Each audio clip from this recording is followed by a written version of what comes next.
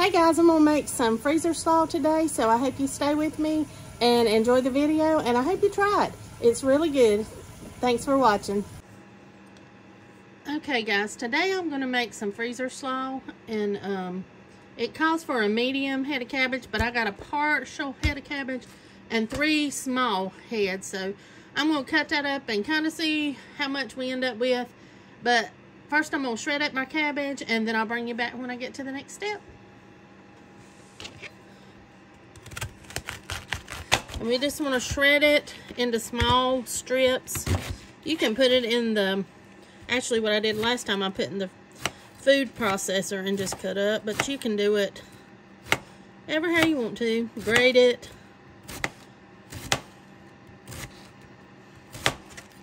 But you kind of want it there, and then I'm just going to go through it again.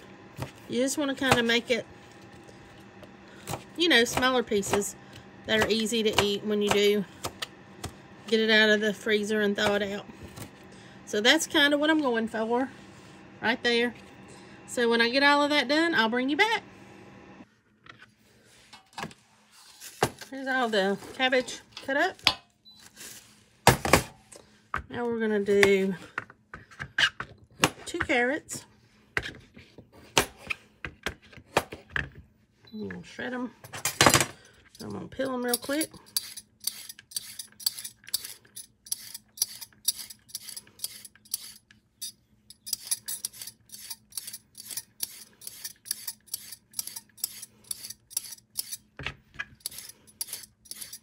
I'll give these peelings to the chickens later.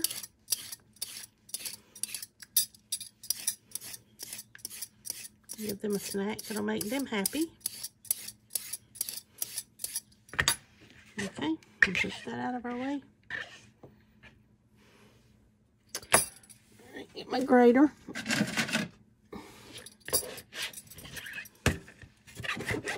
And then we're just going to grate our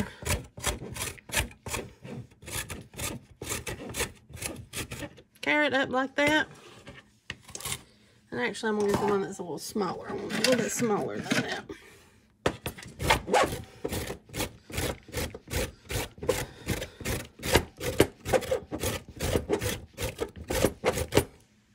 And I'm going to keep doing that till I get them both grated up and I'll bring you back.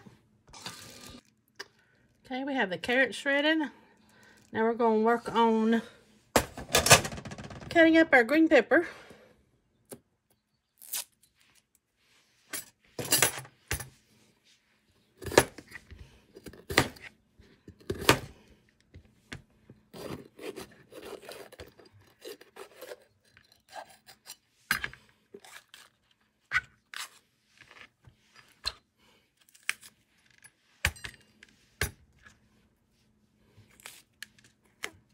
Get the little pithy part off.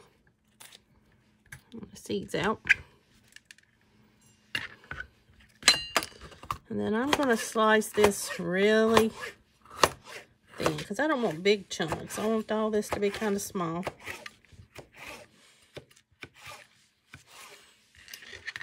And then we're just going to go back through.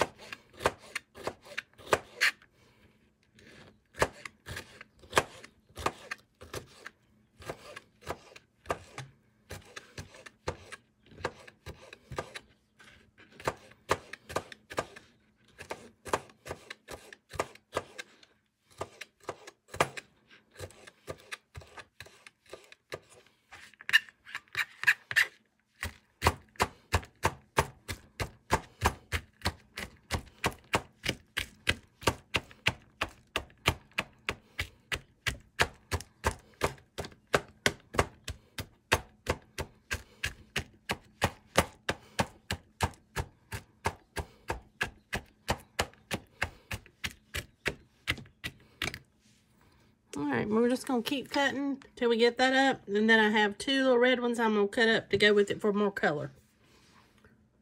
Now I'm going to sprinkle a tablespoon over the veggies. The recipe actually calls for just the cabbage, but I want to pull the extra water. I'm just going to be about a tablespoon and a half because I had a little more cabbage. Um, and we're just going to work that in.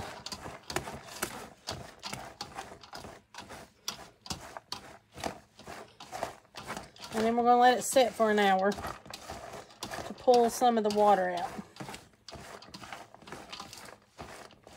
And after an hour, I'll bring you back for the next step.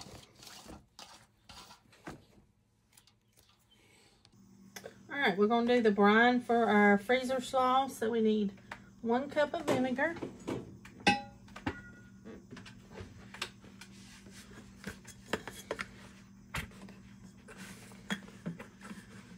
I got half a cup, so we're going to do two of those. And I'm doing apple cider.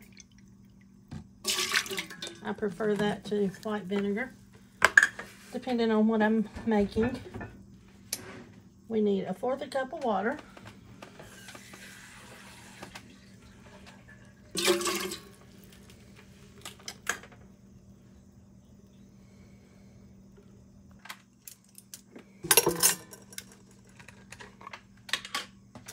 I need one and a half cups of sugar.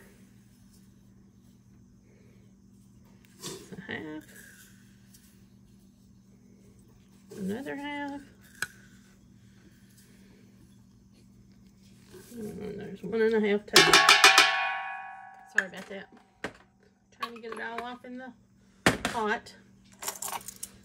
Then we need a teaspoon of mustard seed and a teaspoon of celery seeds. There's our mustard.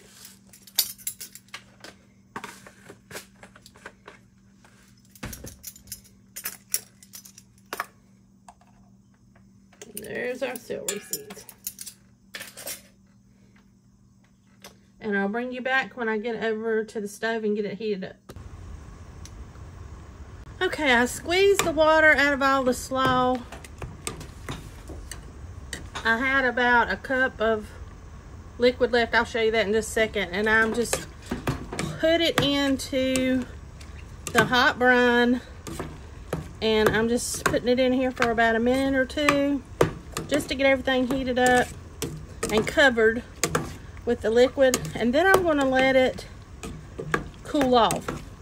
And then we'll put it in our little Ziploc bags or you can use any other freezer stable container and put it in the freezer. So, as soon as I get to that time limit, I'll bring you back and we'll do the next step. And this is what the liquid looked like. It's probably between a cup and three-fourths of a cup, I guess, in the bottom of my wash pan. Okay, well, it's been about two minutes, so I'm going to take it off and I'm going to put it in my wash pan to let it cool down.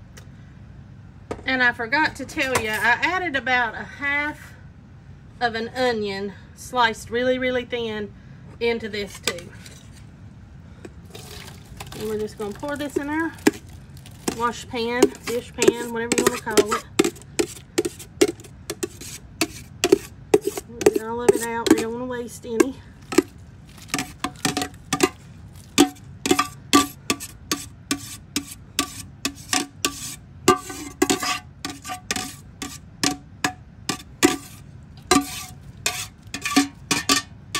Bring you back when I get it all out of the container. I'm just going to spread it out so the heat can disperse and the steam and it'll once it cools off we'll put it in our little ziploc bags it smells really good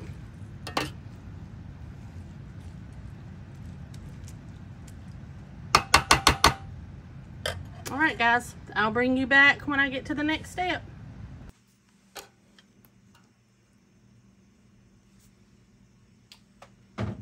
Okay, it's cooled off. You see we've got the brine all in here.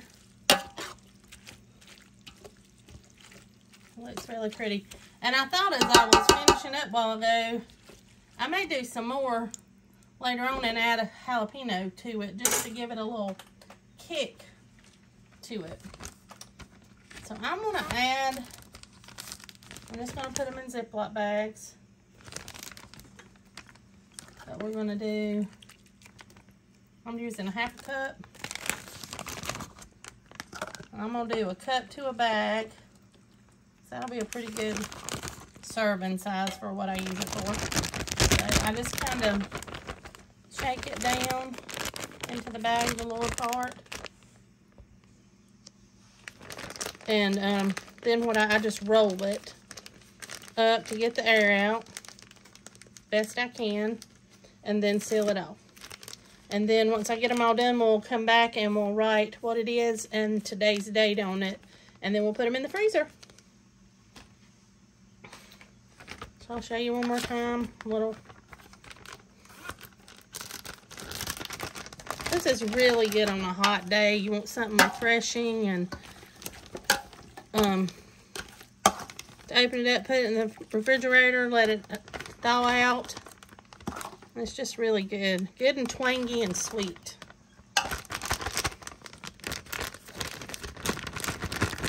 Again, get in the lower part of the bag. Kind of push it down a little bit. Roll it up. And then just seal it off. Alright, I'm going to finish these out, guys, and I'll bring you back. I ended up with six bags. So I'm going to put these in another bag if I can get them all in there. Just to give them a little more protection in the freezer. Let's see how many I can get in one bag.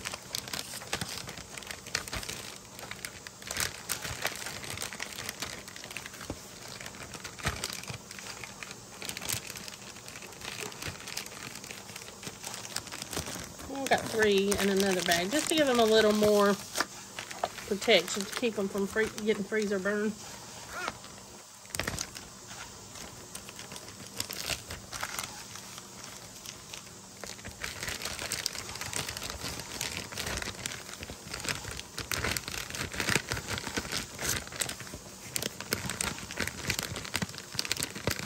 Okay.